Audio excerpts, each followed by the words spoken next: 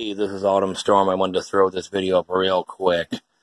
Um, last night I criticized Sarah Jeong, and within a half hour I was banned from Twitter for life. Which I've been expecting this because Twitter has been gunning for me for about six months to a year.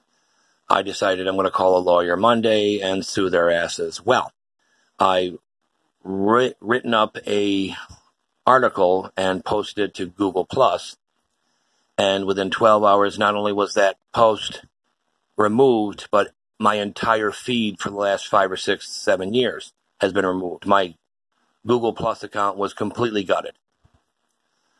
Uh, so I'm going to be call, um, calling a lawyer uh, Monday tomorrow uh, and um, I'm going to sue their asses, both companies, for everything they got.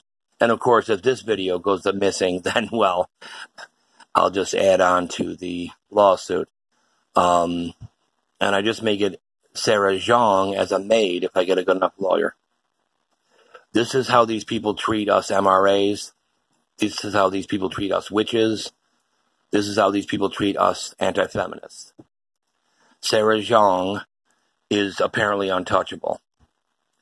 Um, which we will test those boundaries. uh, I just wanted to throw up a video, uh, telling you what's been going on the past 12 hours, 18 hours. Um, I have been completely removed from Twitter. Um, so there you go. Uh, thanks for listening.